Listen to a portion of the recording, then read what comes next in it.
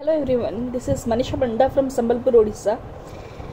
In this video, I am going to discuss about another very important phylum of the animal kingdom that is phylum Coelenterata or Cnidaria. Phylum Coelenterata or Cnidaria which belongs to animal kingdom, that is chapter 4 of class 11th CBSE biology. Okay, phylum Coelenterata, it is often mispronounced as Coelenterata. Students pronounce it as Coelenterata in some places i've heard like that it's not necessary that in all places it is pronounced like that all that all the students pronounce like that but most often it is pronounced as coelenterata it is not coelenterata it is coelenterata coelenterata or cnidaria c is silent.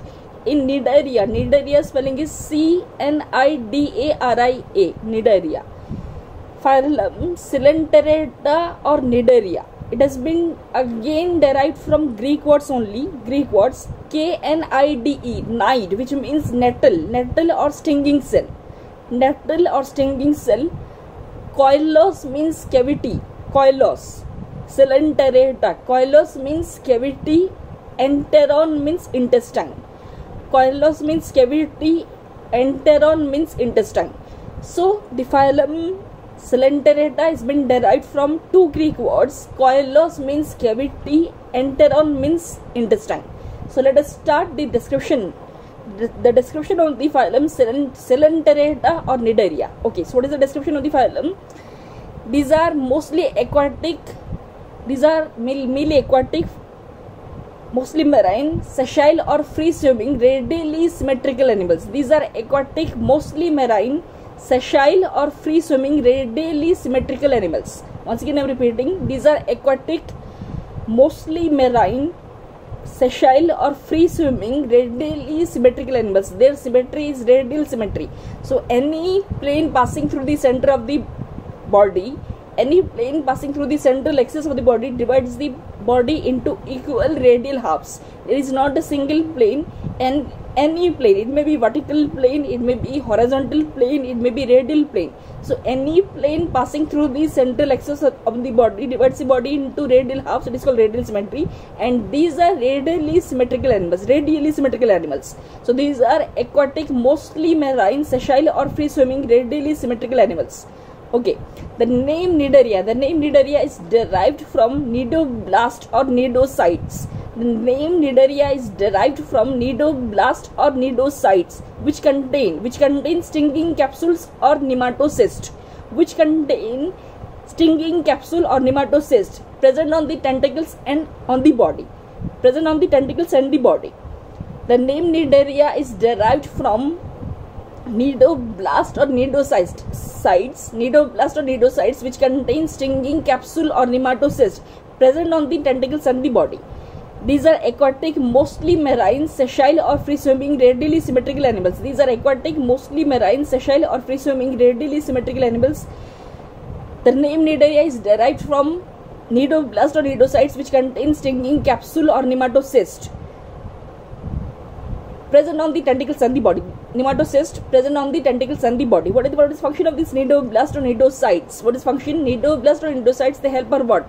They have help for anchorage, defense, and for the capture of prey they help because they contain the nematocyst stinging capsule or the nematocyst that's why they help for what they help in the anchorage fixing to a substratum fixing fixing to a substratum to a particular body particular fix they get fixed to a substratum to a particular place that is called anchorage a n c h o r a g is anchorage so cnidocytes they help in anchorage defense and for the capture of prey once again, I'm repeating, these are aquatic, mostly marine, sessile or free swimming, radially symmetrical animals.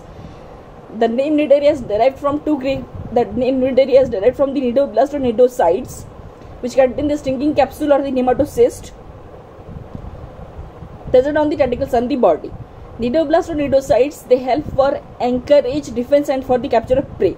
Okay, let us uh, begin. The another part, another very important part that is the second half of this.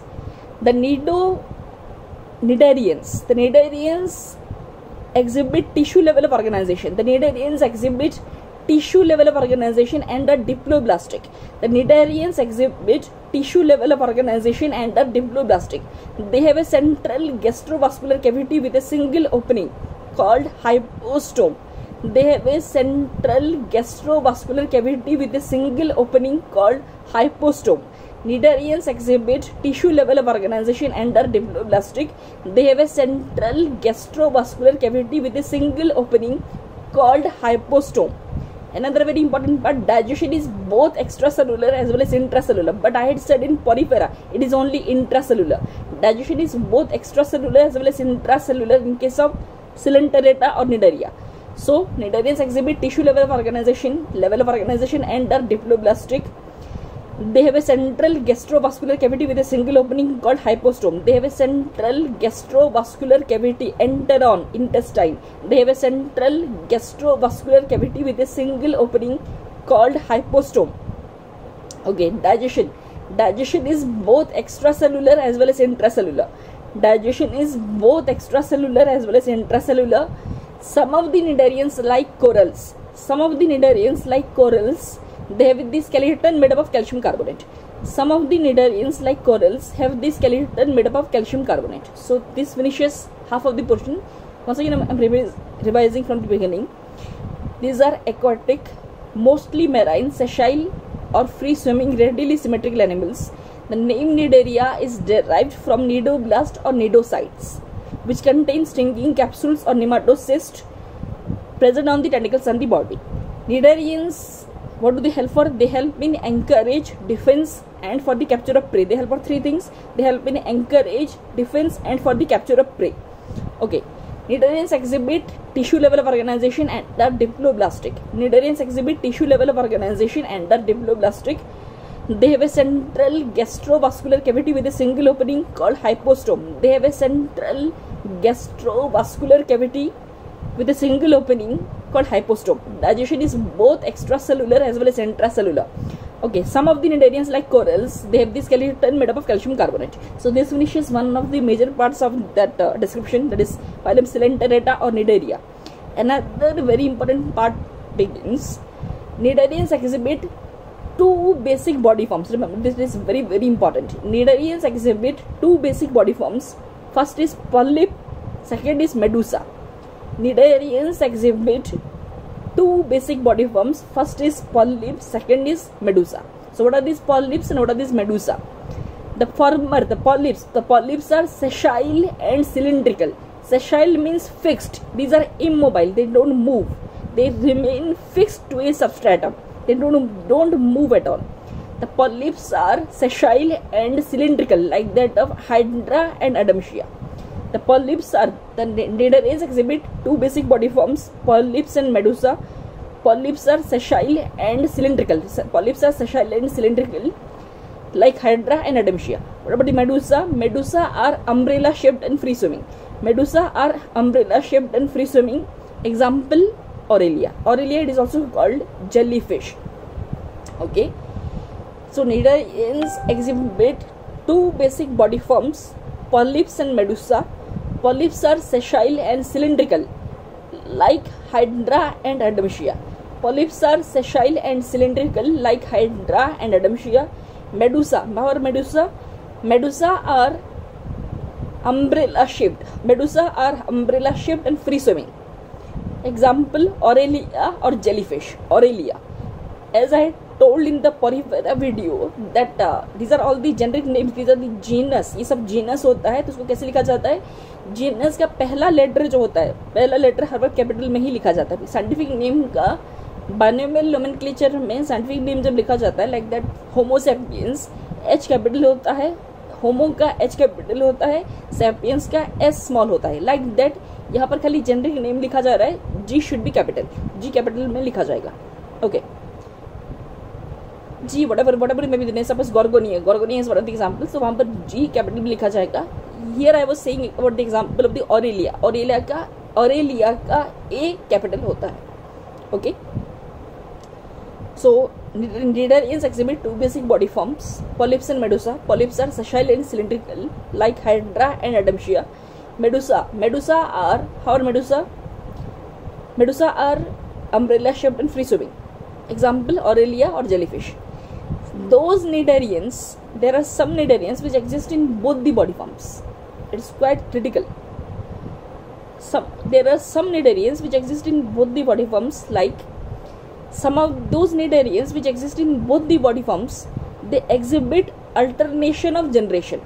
The cnidarians which exist in both the body forms exhibit alternation of generation which is called metagenesis the cnidarians which exist in both the body forms exhibit they show alternation of generation that is metagenesis alternation of generation को metagenesis भी बोलते हैं metagenesis okay so what is this metagenesis so what are the two basic body forms polyps and medusa polyps how do the polyps produce so what is that alternation of generation or metagenesis polyps produce medusa asexually and medusa produce polyps sexually.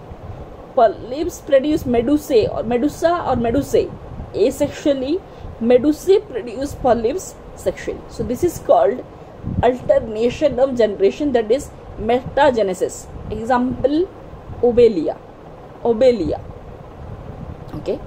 So once again from the beginning i'm repeating these are aquatic mostly marine sessile or free swimming radially symmetrical animals these are aquatic mostly marine sessile or free swimming radially symmetrical animals the name Cnidaria is derived from Cnidaria, that nidoblast or nidocytes, which contain stinging capsules और निमाटोसिस्ट निमाटोसाइट्स नहीं है वो निमाटोसाइट गलत दिया है NCD में गलत print हुआ था ओल्ड एडिशन में आप थोड़ा न्यू बुक देख लीजिए मे बी अभी करेक्शन हो चुका है निमाटोसाइट नहीं है वो सी वाई टी एस नहीं है निमाटोसिस्ट है C Y S so that uh, name cnidaria is derived from nidoblastonidocytes which contain stinging capsules or nematocysts present on the tentacles and the body. Then what do these uh, help for? Cnidoblast or cnidocytes they help in defense capture of prey and anchorage, anchorage defense and capture of prey coming to the next part cnidarians exhibit tissue level of organization. In porifera there was cellular level of organization. Here it is tissue level of organization. Cnidarians exhibit tissue level of organization and are diploblastic. They have a central gastrovascular cavity with a single opening that is hypostome. They have a central gastrovascular cavity with a single opening that is hypostome digestion is both extracellular as well as intracellular. Then uh, some of the cnidarians like corals corals exhibit they have the skeleton made up of calcium carbonate. Some of the cnidarians like corals have the skeleton made up of calcium carbonate. Okay. Then uh, then begins the very important part that what are the two basic body forms. First form is polyps second is medusa. So cnidarians exhibit two basic body forms polyps and medusa. So what are these polyps these are sessile and cylindrical like hydra and adamsia sessile and cylindrical like hydra and adamsia medusa. Medusa are umbrella shaped and free swimming. Medusa are umbrella shaped and free swimming like or aurelia or jellyfish. Okay. And there is another very important part that is metagenesis. Alternation of generation or metagenesis. So some cnidarians those cnidarians which exist in both the body forms exhibit alternation of generation that is metagenesis. Polyps. Polyps produce medusae asexually. Medusae produce polyps sexually. Okay example is obelia. So this finishes the whole description of phylum Coelenterata or Cnidaria which is given in NCERT. Let me tell some of the examples. What are the examples? In general, I'm telling we have already discussed many examples. Hydra, Adamsia, Aurelia, Obelia. Obelia. O B E L I A. Hydra, Adamsia, Aurelia, Obelia. First four examples we did discuss. Next, Physalia. Physalia that is called Portuguese man of war. Physalia it is also called Portuguese man of war. Then Gorgonia Gorgonia is sea fan next Pennatula Pennatula Pennatula is sea pen P E N लिखने वाला pen okay first four भी discussed Hydra Adamsia Aurelia Obelia Hydra Adamsia Aurelia Obelia Physalia Gorgonia Pennatula Physalia Gorgonia Pennatula Physalia is Portuguese man of war Gorgonia Gorgonia is sea fan fan पंखा sea fan Pennatula Pennatula is sea pen P E N sea pen there are many more examples like another is Meandrina it is brain coral Meandrina Meandrina okay one more thing I for to tell that coral you must have heard about the Great Barrier Reef in Australia. Great Barrier Reef. It is one of the major part, major corals. It, this part contains major coral reefs. Okay. Uh, what is the cor- coral island of India? Coral island of India. It is Lakshadweep. The coral island of India is Lakshadweep. Okay. So this was all about phylum Coelenterata or Cnidaria what are the classes let me name the classes of that uh, phylum Coelenterata or Cnidaria as we had discussed about the classes of the phylum Porifera. So what are the three classes? Hydrozoa first is hydrozoa first class. Then second class class 2 is scyphozoa first class 1 is hydrozoa class 2 is scyphozoa scyphozoa third class 3 is anthozoa anthozoa Hydrozoa, Scyphozoa, and Anthozoa. What are the examples? Once again, Hydra, Adamsia, Aurelia, Obelia, Physalia, Gorgonia, Penatula. Physalia, Gorgonia, Penatula, Meandrina, brain coral. Okay. What are the classes? Class 1 is Hydrozoa, class 2 is Scyphozoa, class 3 is Anthozoa. So this finishes. So you can see I'm sweating a lot it's really very hot here. What can be done? The summer has approached already. Okay. So this finishes phylum Coelenterata or Cnidaria I hope you all enjoyed. So this finishes. Just please watch the video carefully once again. You will go through it. Just go through the NCERT then you watch the video. I I believe you can do that. I really believe. Okay. Bye good night. Thank you